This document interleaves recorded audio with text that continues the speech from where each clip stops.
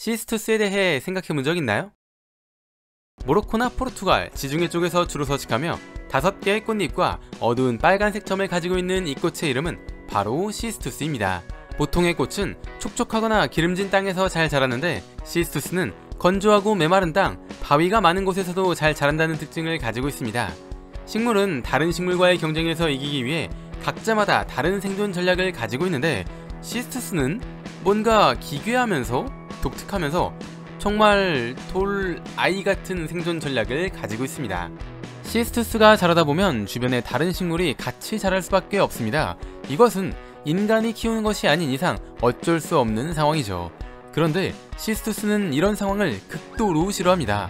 자기 주변에 다른 식물이 자라 주변이 빽빽해지면 화를 참지 못하고 엄청나게 열불을 내는데 열불의 결과물로 한 오일이 방출됩니다.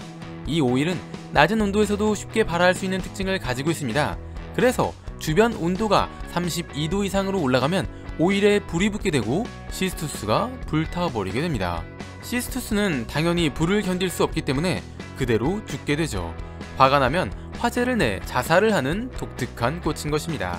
여기서 끝이 아닙니다. 불은 주변에 있는 다른 식물에 옮겨 붙기 때문에 주위에 있는 것이 모두 불타버리는 대참사가 발생하게 됩니다.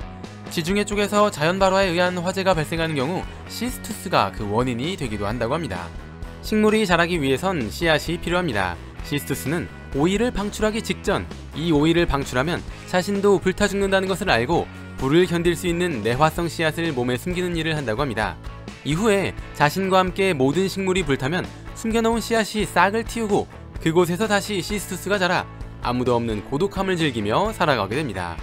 무언가 마음에 들지 않으면 자신까지 불타 죽는다 하더라도 주변에 있는 모든 것을 태워버리는 돌아이라는 표현이 정말 잘 어울리는 녀석인 것입니다. 이런 이유 때문에 시스투스는 나는 내일 죽습니다 라는 꽃말을 가지고 있다고 합니다. 뇌를 채워줄 은덩어리 지식들 오늘의 은잡지 영상은 여기까지입니다. 시청해주셔서 감사합니다.